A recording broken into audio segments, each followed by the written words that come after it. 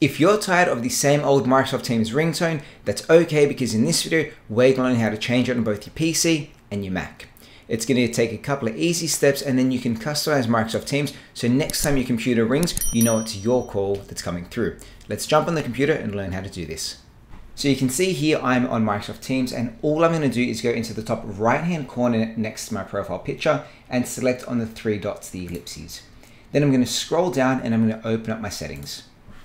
From here on the left hand side, we're going to go all the way down to the bottom to where it says calls. And then you can see down the bottom here, there's an option for ringtones. You can change, of course, the calls for you, which is the most common calls, forwarded calls, and of course, delegated calls. To change it is really easy. We're simply going to drop down on the arrow here and you can put it back to the default if you wanted to. Or you can go ahead and listen to a few of the different options you have for a ringtone. And then once you've found the ringtone that works for you, simply X out of your settings and your ringtone has now been changed. And there you have it. It is that easy to change and customize your ringtone on Microsoft Teams for both PC and Mac.